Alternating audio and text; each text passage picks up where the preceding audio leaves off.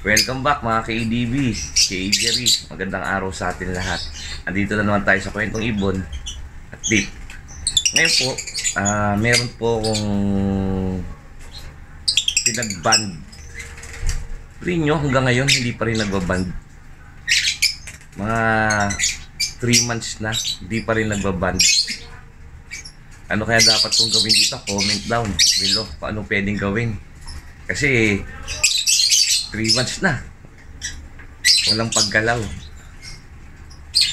Pakita ko sa inyong ibon.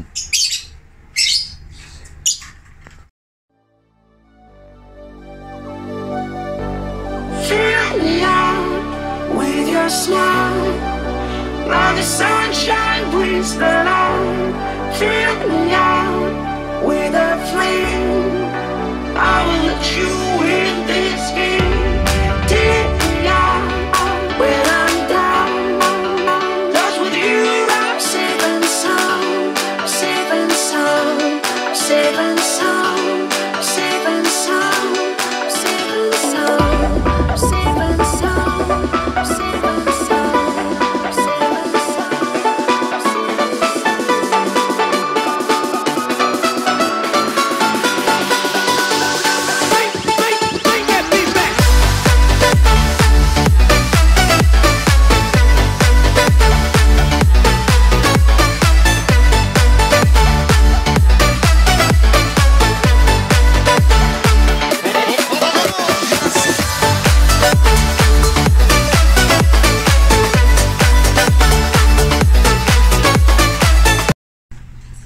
ayan guys.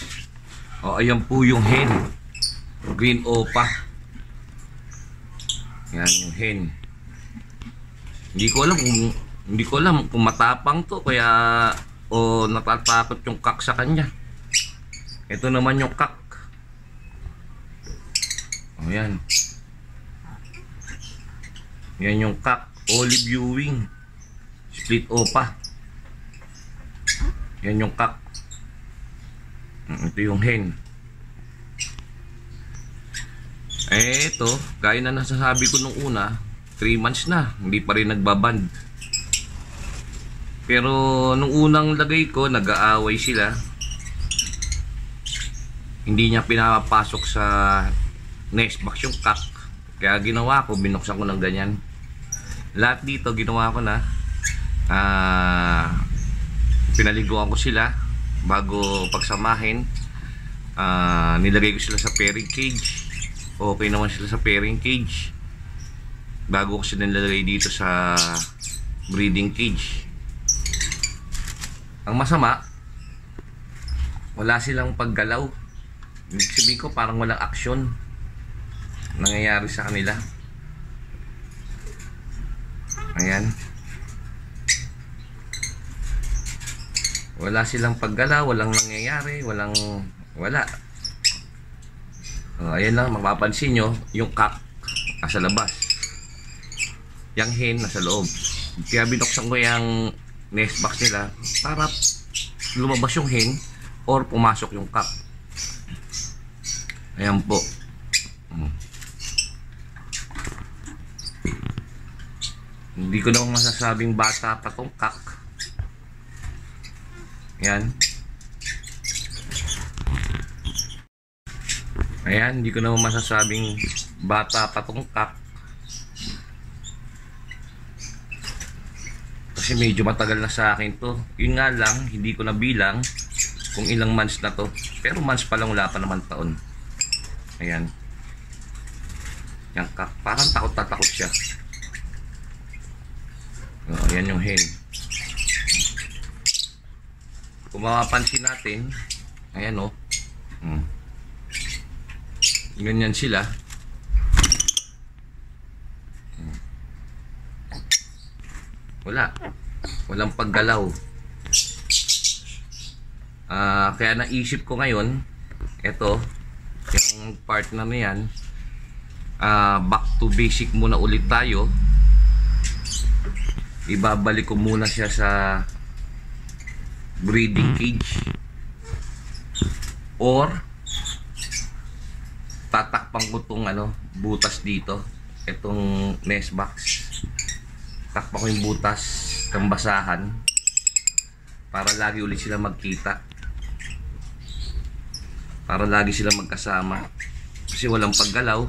Ah, babalik ulit tayo sa basic na ginagawa pag nagbaband paliguan ulit ayan balik natin sa sa bird cage o sa sa pairing cage para makapag-band ulit sila. Eh, tatlong buwan eh. Pag di ko pa ginawa to baka tumagal lang to. Wala mangyayari. Hindi ko na alam kung anong gagawin ko rito. Kaya yan guys. Ah baka may nalalaman kayo na tips kung paano ko to mapag-band ulit pwede kayo mag-comment down below. Para mabasa ko magawa ko. Ah yun lang.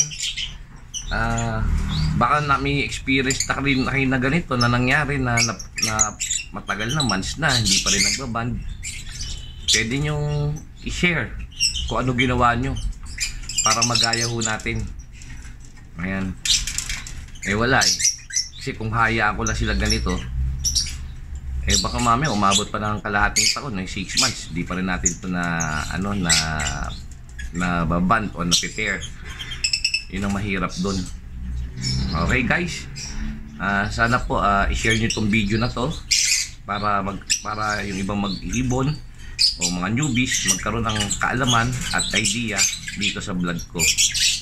Ayun po at sana po huwag niyo kakalimutan mag-like, share at subscribe at pakipindot na rin ang notification bell para lagi tayong updated sa mga susunod kong video.